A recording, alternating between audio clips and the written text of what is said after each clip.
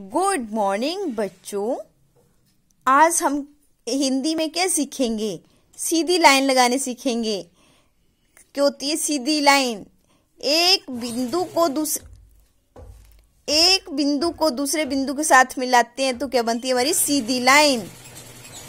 एक बिंदु को दूसरे बिंदु के साथ मिलाया तो हमारी क्या बनती है? सीधी लाइन। एक बिंदु को दूसरे बिंदु के साथ मिलाते हैं तो क्या बनती है हमारी ये सीधी लाइन?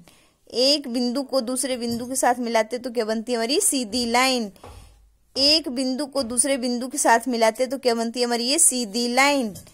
एक बिंदु को दूसरे बिंदु के साथ मिलाते हैं तो क्या बनी हमारी? ये सीधी लाइन। एक बिंदु को दूसरे बिंदु के साथ मिलाया, फिर क्या बनी ये हमारी? सीधी लाइन। एक बिंदु को दूसरे बिंदु के साथ मिलाया तो क्या बना ये? सीधी लाइन। एक बिंदु को दूसरे बिंदु के साथ मिलाया तब क्या बनी ये हमारी सीधी लाइन? एक बिंदु को दूसरे बिंदु के साथ मिलाया तो क्या बनी हमारी ये सीधी लाइन? एक बिंदु को दूसरे बिंदु के साथ मिलाया, फिर बनती है हमारी ये सीधी लाइन।